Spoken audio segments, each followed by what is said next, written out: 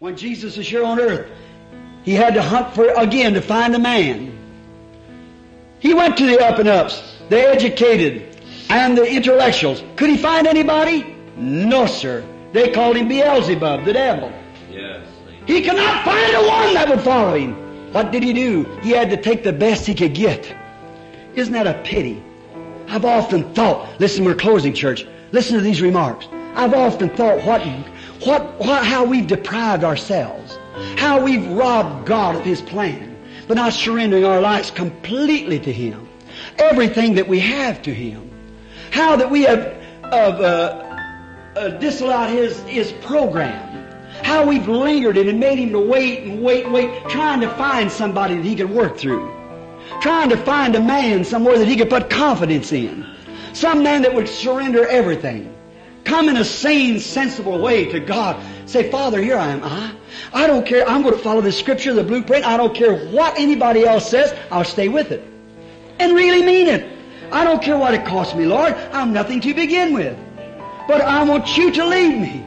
And let the Holy Spirit that wrote this Bible and made these promises confirm it back through my life. I feel that you're leading me that way. Here I am. Send me, said Isaiah. In the temple, when he seen the cherubims with wings over their faces, over their feet, and flying with wings, and they got a coal of fire and cleansed his mouth, then the Spirit of God come on him. Why can't we? God can't find man like that. When he hunted for his disciples, he came to his own. His own received him not. He couldn't find nobody. They was waiting for that. Today the world's waiting for divine healing. But I don't care how much divine healing you, you do, still they won't believe you.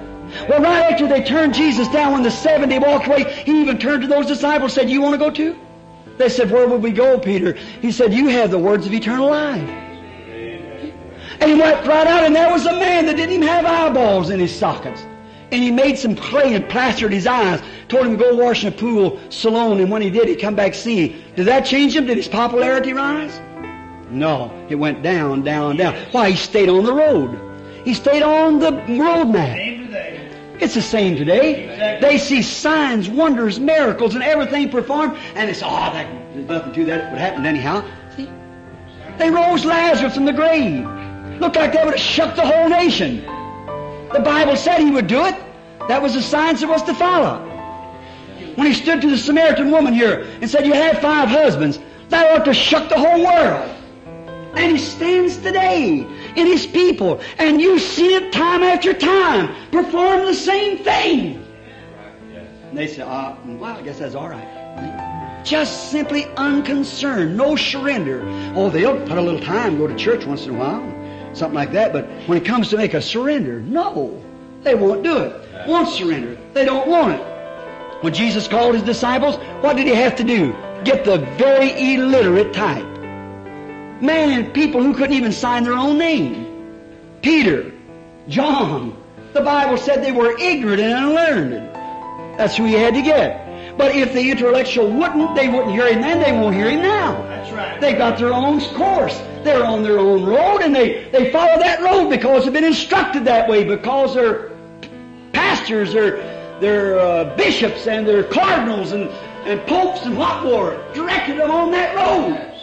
But the Holy Spirit will bring you back to Pentecost. Amen. Every time. Every time they did in the Scripture to everybody, and it will in this day to everybody. It'll bring you back to that reality. Yes.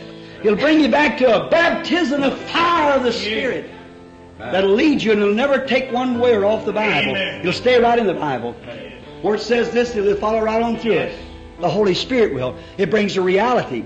What did he do? He had to get these ignorant fishermen. Didn't even have clothes, just something wrapped around them. Fish aprons and so forth. No clothes. So ignorant they couldn't sign their name. Unlearned. No education. But he found somebody. He had to get somebody. But he found man in that kind of a state that was willing to surrender.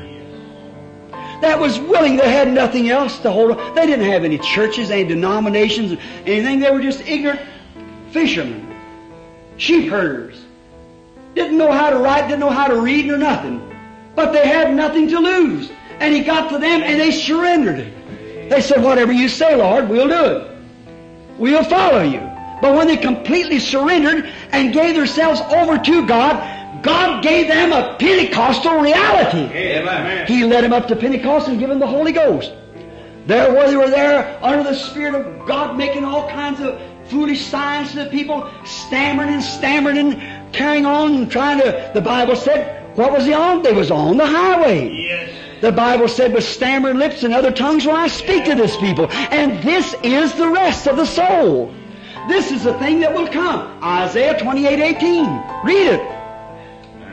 With stammering lips and other tongues will I speak to this people. This is the rest.